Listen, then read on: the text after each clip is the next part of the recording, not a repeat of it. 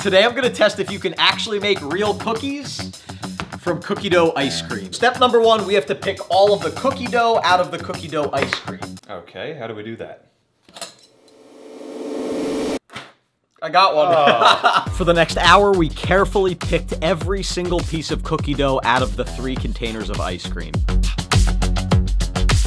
All of this ice cream in three containers.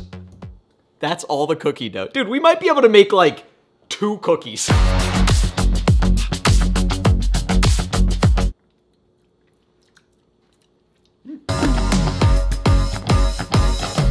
Hey, that looks like a cookie.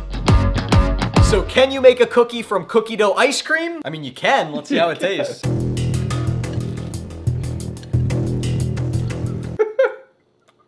it's not that good.